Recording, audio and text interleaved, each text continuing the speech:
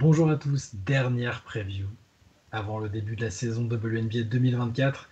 Honneur aux champions pour finir en beauté, aux doubles champions même, devrais-je dire, les Las Vegas Aces, qui ont brillamment remporté leur deuxième titre de suite pour un back-to-back la saison dernière. Est-ce que les Aces réussiront l'exploit d'accomplir un three-pit, trois titres de suite, ce qui n'a plus été fait depuis euh, feu les Houston Comets euh, la réponse donc dans quelques jours. À partir de dans quelques jours, on peut déjà se repencher sur ce qui a été fait l'année dernière du côté de la vente à Becky Hammon. 34 victoires, 6 défaites. Alors, plus grand nombre de victoires sur une saison euh, dans l'histoire. Alors, certes, il n'y a pas toujours eu 40 matchs à se mettre sous la dent, mais quand même, ça reste euh, un bilan historique. Première place en saison régulière, championne WNBA à la fin. Pléthore de récompenses individuelles avec Asia Wilson qui a été élue MVP des finales, qui a été élu Defensive Player of the Year, Alicia Clark qui a été élue euh, sixième joueuse de la saison, et j'ai oublié une place en, dans le deuxième meilleur 5 défensif pour, euh, pour Wilson. Chelsea Gray et Jackie Young ont été élus dans le deuxième meilleur 5, et globalement, cette équipe a, a, transpiré la confiance, l'assurance, même jusqu'en finale, malgré les pépins, malgré la blessure de Chelsea Gray. ça a été une saison magnifique, portée par une coach non moins magnifique. On peut euh, bah, euh, évoquer les quelques mouvements de l'intersaison. Ils n'ont pas été nombreux, mais euh, il y en a quand même eu un assez marquant qu'on est obligé d'évoquer. C'est le départ de Candace Parker. Pas départ pour une autre équipe, mais départ en retraite. Candace qui avait prévu de débuter la saison en espérant que bah, sa blessure au pied bah, ne l'empêche pas de, continuer, ne serait-ce que pour une dernière saison. Malheureusement, la douleur était trop présente et, et Candace étant la championne qu'elle est, elle a décidé de ne pas revenir à moitié et donc de, de tirer sa révérence, c'est l'occasion bah, de, lui tirer notre chapeau euh, pour cette, incroyable carrière qu'elle achève en, tant que assez clairement euh, euh, membre d'un club très fermé parmi les toutes meilleures joueuses de l'histoire, les joueuses les plus complètes de l'histoire. Et, on attend de voir avec excitation ce que, ce que donnera son après-carrière. Quoi qu'elle fasse, on n'a aucun doute sur le fait que ce sera très très réussi. parmi les départs, Ricona Williams, qui, qui, est free agent, qui n'a pas été conservé tous les, tous les soucis extra-sportifs que comporte sa présence dans les, que, comportait sa présence dans l'effectif. Euh, L'Australienne Kayla George n'est pas, revenue non plus. Et pour le reste, ce sont des arrivées euh, bah, pas inintéressantes, mais dont on ne sait pas encore quelle portée elles auront sur, euh, sur la rotation. Megan Gustafson arrive de Phoenix, qui va apporter des choses intéressantes. Et au niveau de la draft, Dia Schaffer, qui était une excellente scoreuse universitaire, euh, dont on ne sait pas si elle, passera, si elle passera le cut ou si elle aura des minutes, et Kate Martin, l'une des acolytes de Caitlin Clark du côté d'Iowa, qui a aussi été draftée, et qui, à l'heure de cette vidéo, est toujours membre de l'effectif, si je ne dis pas de bêtises. Euh, on peut faire un point, euh, sur l'équipe, du coup, sur la manière dont, dont Becky Hammond va pouvoir utiliser ce, vivier, cet effectif si talentueux. Flo, est-ce qu'on doit s'attendre à des changements par rapport à, l'année dernière ou est-ce qu'on ne change pas une équipe qui gagne? Ben, Je pense qu'on ne change pas une équipe qui gagne. Hein. Il n'y a, pas, euh, il a pas grande question à se poser. Euh, on a euh, quatre joueuses complètement incroyables que sont Chelsea Gray à la main, Kelsey Plum au poste 2, Jackie Young au poste 3 et Eja Wilson à un des deux postes dans la raquette. Bon, cette, cette petite quadruplette là, elle est, elle est indélogeable. Et alors, ben, fatalement, il y a Candace Parker qui devait revenir, mais au final, elle a quand même été blessée une grande partie de la saison passée. Euh, je pense que Kaya Stokes va venir, euh, compléter ça. Alors, il n'est pas dit que sur certains matchs, en fonction des match-up, Eja Wilson euh, soit sur le poste 5, éventuellement, ça joue un petit peu autrement, peut-être parfois avec Alicia Clark si on veut jouer un peu plus petit, mais globalement, je pense qu'on est, on est sur cette association-là. C'est l'équipe qui a gagné l'année passée. C'est à très peu de choses près l'équipe qui a gagné il y a deux ans. voilà, il y a une formule qui fonctionne. Je vois pas pourquoi on s'amuserait à la changer, à part pour se faire peur, quoi. Absolument.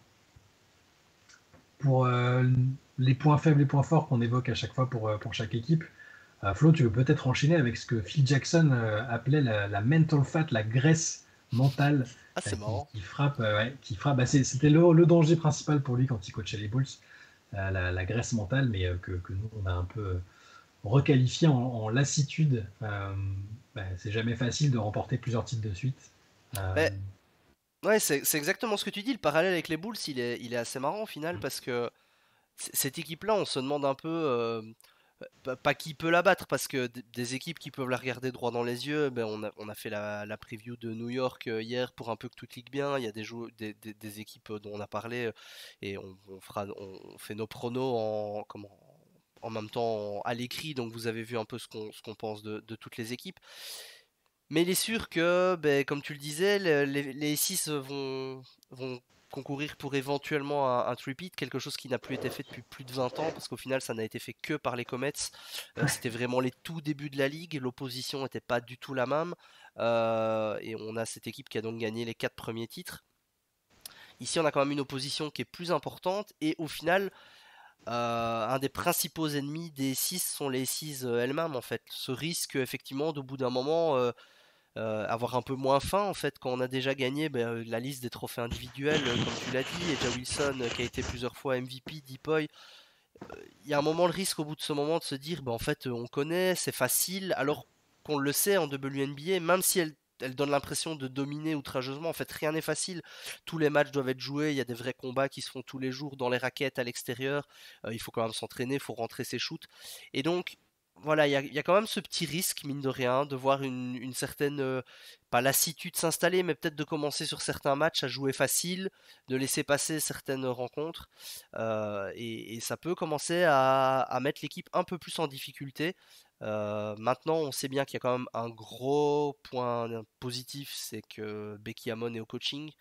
Euh, Becky Hammon, je pense qu'elle a raté suffisamment le titre en tant que joueuse pour avoir envie de prendre le maximum qu'elle peut euh, comme coach et savoir que connaître trop le goût de la défaite que pour ne, pas réussir à motiver ses joueuses.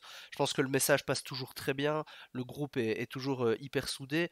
En plus, bon, effectivement, il y a Becky Hammon, mais Chelsea Gray euh, Wilson, euh, je pense que ce sont des, compétitrices euh, nées, Kelsey Plum aussi.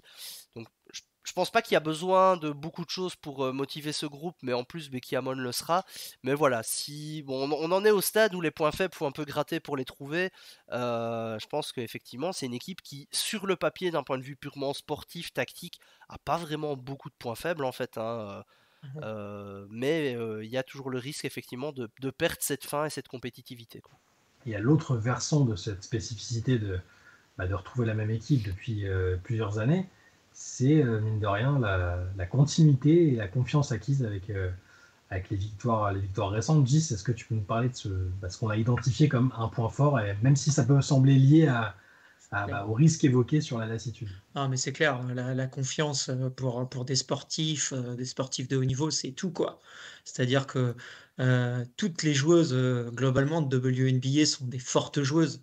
Et si en plus l'ensemble de l'équipe est confiante, c'est-à-dire que si Chelsea Gray a l'impression de shooter à 60% tout le temps et qu'elle rentre tous ses tirs, euh, quand il y aura des tirs décisifs, elle va les mettre en fait. Et donc, euh, non seulement il y a la continuité dans le jeu, voilà, euh, comme Flo l'a dit, hein, Becky Hammon, hein, qui va savoir jouer, faire jouer son équipe. Voilà, maintenant elle est là depuis ça, faire la troisième saison. Elle a la maîtrise de l'aspect tactique, la maîtrise des joueuses. Les joueuses, même les joueuses, on les voit progresser. Pourtant, c'est des joueuses incroyables. On va en parler d'une tout à l'heure d'ailleurs, mais toutes les, tous les ans, moi, je vois dans ce quatuor là que Flo a parlé tout à l'heure, mais je vois les joueuses progresser. Edja Wilson aujourd'hui, c'est une joueuse immensément plus forte que en 2020 quand elle prend son premier MVP, que ce soit défensivement et offensivement. donc il y a la continuité, il y a la confiance, il y a le développement. Honnêtement, enfin, je pense que comme Flo l'a dit, moi cette équipe, après, elle peut, perdre, hein, voilà, il y a d'autres équipes de talent, mais elle ne peut vraiment dérailler que si, euh, voilà, que si les joueuses euh, euh, bah, en ont un petit peu marre, entre guillemets, quoi, envie un petit peu d'autre chose. Si elles, sont, si elles tirent toutes dans le même sens comme elles font depuis deux ans, mais elles feront une très belle saison. Après, est-ce qu'elles gagneront? Ça, voilà, gagner, perdre, hein, il y en a qu'un qui gagne tous les ans, hein, donc forcément, mais mais il n'y a pas de raison que ça déroule pas. Quoi. Si elles sont sérieuses, ça déroulera forcément. En saison, et après, euh, même en playoff, en tout cas, bon, peut-être jusqu'aux demi-finales, on va dire. Voilà. Après, euh, on joue des équipes fortes, mais euh, voilà, donc je suis pas très inquiet. Hein. Honnêtement. Surtout, qu'en plus, on parle, de, on parle de confiance, mais en plus, c'est confiance en elles, mais confiance dans les coéquipières en mmh, plus. Mmh. Mmh. Parce on le voit, elles connaissent leur rôle et elles sont, c'est un groupe euh, soudé, solidaire, euh, en défense, en attaque. Bah, voilà, quand, quand c'est comme ça, euh, il, il peut pas se passer grand chose. Il y a un point important là-dessus. Il y a juste, juste, il y a un point important qui m'échappait, mais euh, c'est la blessure de Chelsea Gray en finale l'année dernière. Elles perdent, euh, elles n'ont pas Candace, elles perdent leur meneuse, qui est la base de tout le jeu de l'équipe. Et en fait, elle est sur le banc, elle draine les filles, et ça, et ça se voit pas sur le terrain. La solidarité qu'elles ont mis dans ce match 4, c'est incroyable. Ouais.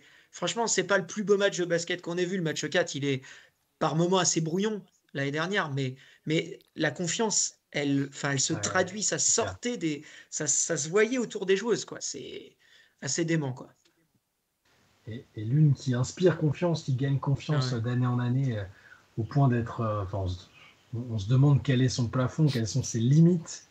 Euh, c'est notre joueuse à suivre, Mademoiselle Jackie Young, dont on va nous parler. Gis. Ouais, ben comme, euh, comme je vous ai plusieurs fois parlé de l'article que j'ai écrit sur les questions, euh, j'avais mis est-ce que Jackie Young pouvait encore progresser? Franchement, c'est c'est un truc de fou, quoi. Je pense que. Jamais, jamais vu ça, jamais vu ça, je, pense. faut se rappeler quand même de la draft 2019 où elle est prise numéro un par défaut parce que Sabrina Ionescu se présente pas, etc. Mais personne. Euh, il y, a, y a trois ans, tout le monde disait que c'était une des porte piques les plus sûres, en fait mais elle est à un niveau, mais c'est complètement incroyable. L'année dernière, elle fait une saison au pourcentage à 52, 45, 87. Je ne sais pas si on se rend compte, 45% à 3 points pour une joueuse qui, il y a deux ans, shootait à moins de 30%. C'est les, adversaires la laissaient shooter. Hein. C'est-à-dire que son tir était absolument pas respecté. Et maintenant, elle met des tirs contestés. Alors, euh, euh, plusieurs fois avec Shai, on en a discuté en rigolant. Je me suis demandé si elle pouvait shooter à plus de 50% à 3 points sur une saison. Et honnêtement, je ne connais pas son plafond. et je dis rarement ça parce que c'est vrai que j'ai quand même souvent un peu mon vécu euh, historique de coach, de formateur, mais elle me bluffe d'une saison à une autre et j'en suis même à, à me demander si elle pourrait pas prendre une grande récompense individuelle, style même peut-être même un MVP. Alors ça sera sans doute un peu difficile parce qu'on sait le côté narratif des trophées, on sait qu'Edja bah, Wilson, voilà, on sait qu'Edja Wilson est la tête de projet, elle est hyper euh, voilà euh, médiatisée, etc. Mais euh, mais on n'est pas à l'abri qu'elle nous fasse une saison qui fasse que ou peut-être même un, un final MVP en fait qui sera peut-être plus simple à obtenir qu'un MVP de saison régulière, en tout cas pour une joueuse qui est voilà que tout le monde regarde pas. Mais, mais aujourd'hui, je pense que c'est la joueuse. C'est dur, parce que, mais c'est peut-être la joueuse la plus importante de l'équipe. Parce que des deux côtés du terrain, c'est incroyable. Elle est capable de stopper, de mettre euh, tous ses tirs moi, je serais curieux de la voir. Alors, je sais qu'elle a prolongé un an de plus à Vegas, euh, euh, peut-être jusqu'au prochain CBA, on verra. Il y aura peut-être d'autres négociations salariales. Mais elle est à un niveau où j'aimerais la voir en première option d'une autre équipe, en fait. Et voir ce qu'elle pourrait donner.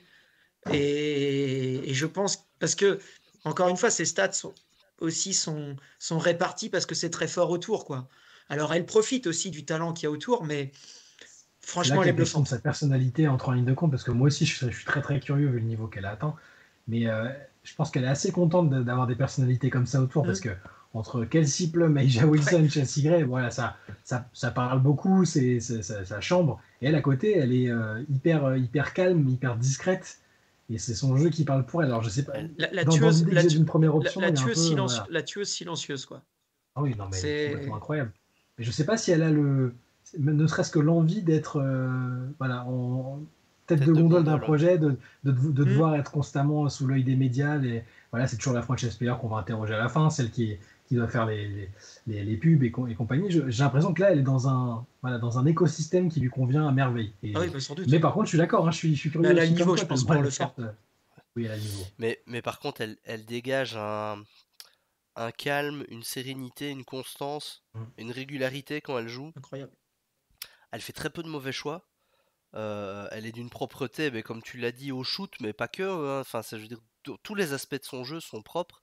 Et, euh, et ça fait deux saisons, je pense, qu'à chaque fois, le début de saison, elle démarre sur des chapeaux de roue, ou en début de saison, on, la met quasi dans la course MVP. C'est. Euh, c'est Michael Jordan la meuf. C'est la meilleure. Alors si on la cause, si on la cale un peu plus, moi je pense qu'elle est quand même plus extérieure. Bon, elle joue 3 souvent, mais elle est quand même, c'est plutôt une guard quand même hein, de base. Hein. C'est plutôt une mm. poste 2 de, de 3 quoi.